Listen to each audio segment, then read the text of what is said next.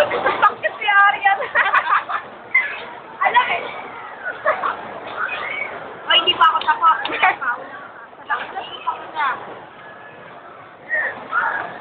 Ray, ang galing nyo, inubaran nyo ah.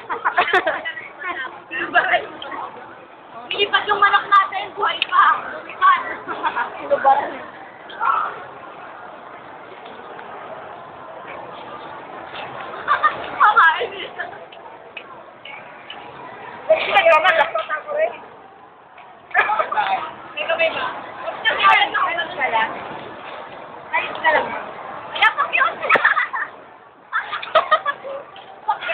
Siyempre, pwede pala niya baon sa